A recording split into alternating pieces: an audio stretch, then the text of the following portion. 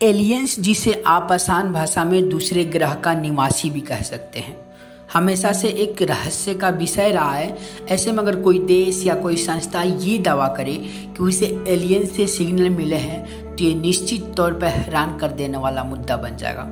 नमस्कार दोस्तों, आप देख रहे हैं गोनारन। दोस्तों, हाल में ही साइंस एंड टेक्नोलॉजी डेली जो कि चीन के सरकारी अखबार है, उसने इस बात का खुलासा सबसे पहले किया कि Zhang Beijing Normal University, Chinese Academy of Sciences का एक्स्ट्रा टेरेस्ट्रियल सिविलाइजेशन खोज टीम के मुख्य वैज्ञानिक हैं। उनका कहना है कि स्पेस में कुछ ऐसे सिग्नल मिले हैं जो पहले सिग्नल की तुलना में काफ़ी अलग है। तो संभावनाएँ हो सकती हैं कि ये सिग्नल एलियंस के द्वारा भेजे गए हों, मगर फिर इस पोस्ट को डिलीट कर दिया गया। ऐसे में सवाल खड़ा होता है, क्या चीन वाकई में एलियन से कोई सिग्नल मिला है या सिर्फ़ झूठे? और जुमलेबाजी के दावा कर रहा है।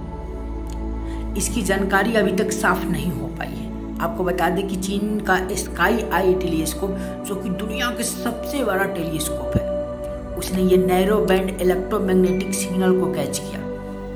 ऐसे सिग्नल धरती पर कभी नहीं पाए गए। चीन ने ऐसे एलियन को सिग्नल होने का दावा किया है। हालाँकि ये एक सिग्नल इंटरफ्रेंस या रेडियो नॉइज़ का भी हो सकता है। सच क्या है? ये कोई नहीं जानता। मगर एलियन से जुड़े ऐसे कोई खबर और यूएफओ देखने का दावा पहले भी कई बार किया गया है। अमेरिका के एरिया 51 से भी ऐसी खबरें निकल कर सामने आई थी कि एलियंस पृथ्वी पर हमला करने वाले हैं। पर ये एलियंस कहाँ हैं? किस ग्रह पर हैं? कब आएँगे? क्या उनसे कभी संपर्क साधना संभव हो पाएगा? क्या वो धरती पर कब्जा करने के इरादे से आएँगे? क्या वो इंसान का अपना गुलाम बना लेंगे? ऐसे कई सवाल जहन में घूमते हैं।